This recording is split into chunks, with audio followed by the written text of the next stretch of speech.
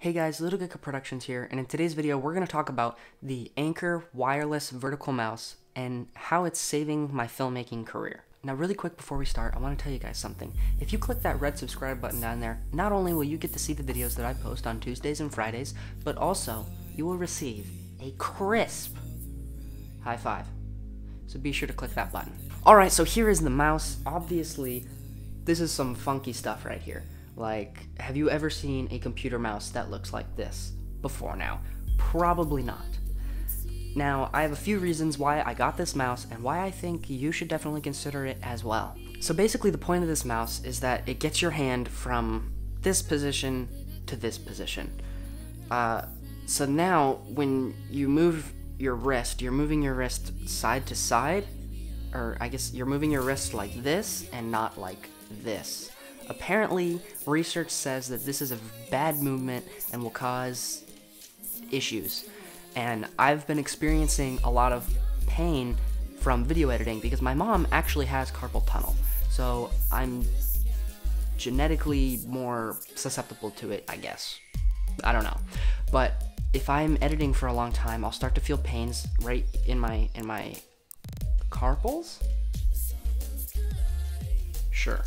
I'll start to feel pain in my wrists, and also this finger will kind of lock up, and I can't, it, like, it, it, it, it's weird. It's bad. To prevent that, I bought this mouse, and I haven't had a problem with my finger locking since. But it's definitely, it was definitely an adjustment to get used to it, but it has saved my wrists. Now, not only do I use this, but I also wear braces when I know that I'm to be editing for a long time. You can get these at like Walgreens, CVS, wherever you live, you know, that type of store, probably even Walmart. And it's just a little wrist brace. I wear them on both wrists and it just gives you that extra support so that you're not ruining and destroying your wrists when you spend six hours editing. Really quick guys, leave a comment down below. Would you ever use a mouse like this or do you think that is just crazy and weird? Let me know in the comments below. I'm really curious. Now the mouse itself, if I were to just review it, is honestly it's not the greatest mouse I've ever used, but it's it's unique, which is why I, I, I need it. Um, it's this one was very cheap. I'm sure you, you you can get a type of mouse that's a vertical mouse that's worth a lot more money that will be a nicer mouse. This one I believe was like $13 on Amazon. Uh, there'll be a link down in the description, I guess, if you want to get it. And it's it it does the job. Uh, I can move it, and it works. I click and it clicks. One problem is, and maybe my hands are small or something, but it's hard to to kind of click. You have to, because normally when you click a mouse, you just click, right?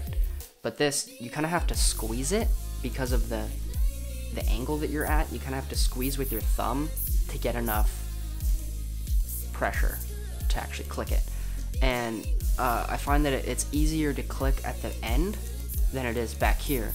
And my finger kind of ends up lying pretty close to the end, but if I were to be able to reach here, it clicks way easier. But the scroll wheel works, um, everything, everything works.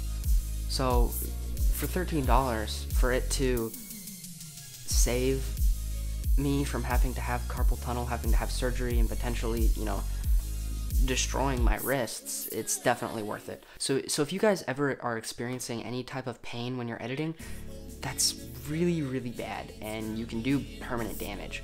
So make sure that you guys are either taking breaks and you know not editing for super, super long and just putting strain on yourself, or you're getting some sort of way to help, whether it be a, a uh, wrist brace or an ergonomic mouse. So overall, guys, I think more than reviewing the mouse, I just wanted to talk about how carpal tunnel and wrist issues is a big issue for filmmakers, and you guys should really be aware of it.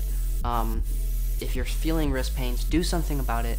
Don't just ignore it because you will cause damage. So this was my solution to my problem, and it has worked. I have not had any issues with my finger since I switched to that mouse, which is amazing because it was really, really painful. Now make sure to hit the subscribe button so you can see all my videos and get that crisp high five.